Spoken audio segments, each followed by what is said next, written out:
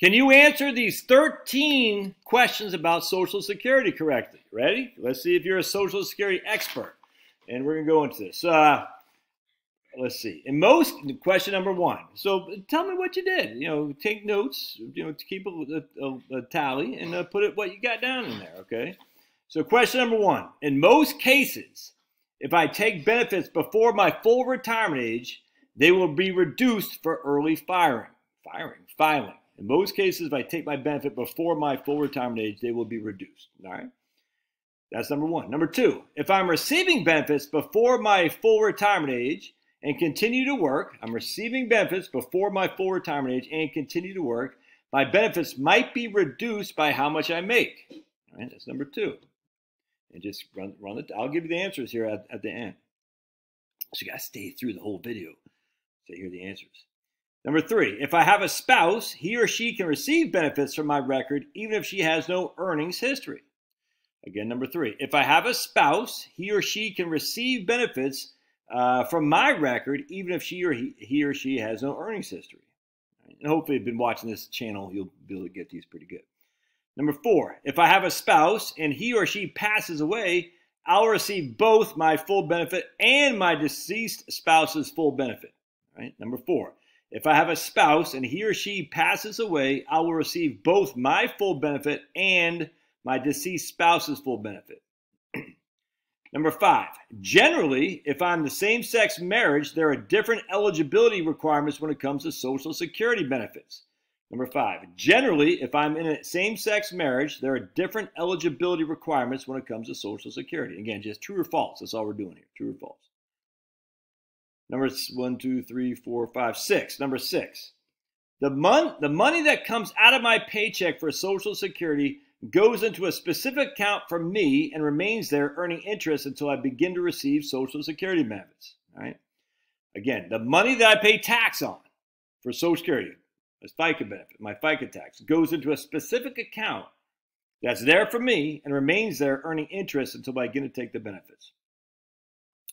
Again, true or false. Number seven, if I get divorced, I might be able to collect Social Security benefits based on my ex spouse's Social Security earnings.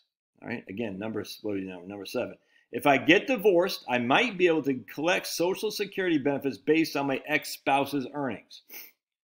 Uh, number eight, under current law, Social Security benefits could be reduced by 20% or more for everyone by 2035.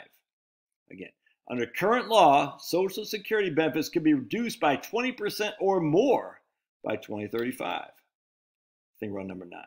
Number nine, under current Social Security law, my full retirement age is 65 no matter when you were born. All right?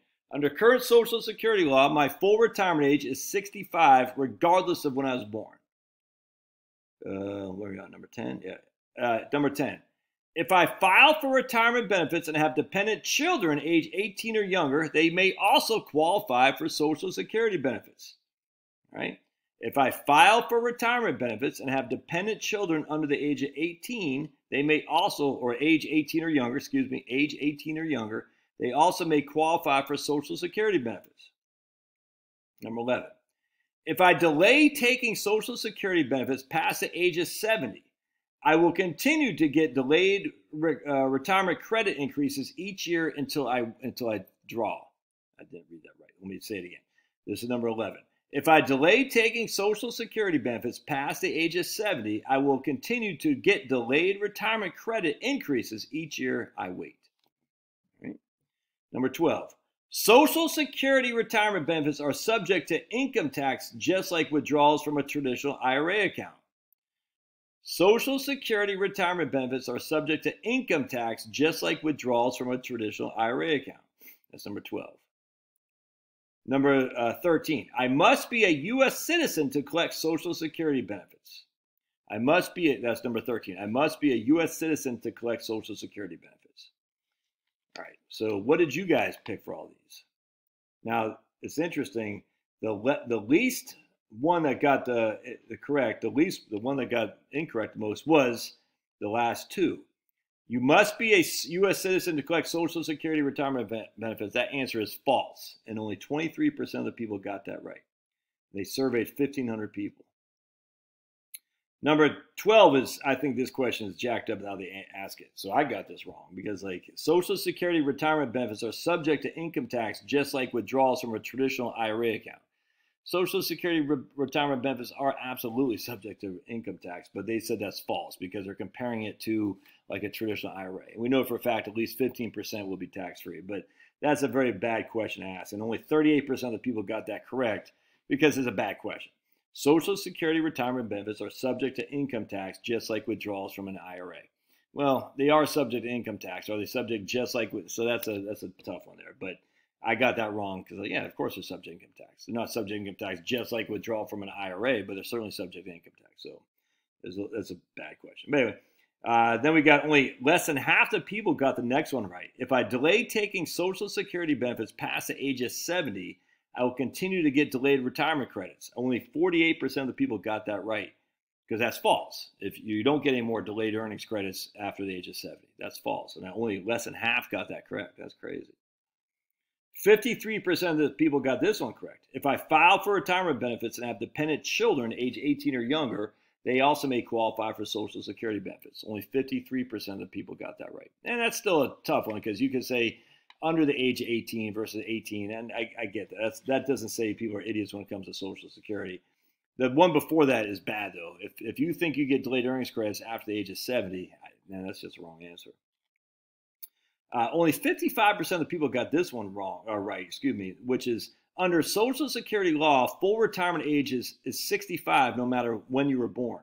That's false, obviously. And only 55% of the people got that right. That's crazy. Uh, 58% of the people got this one right. Under current law, Social Security benefits could be reduced by 20% or more by 2035. 58% of the people got that right. Uh, only 59% of the people got this one right. If I get divorced, I might be able to collect Social Security benefits based on my ex spouse's earnings history.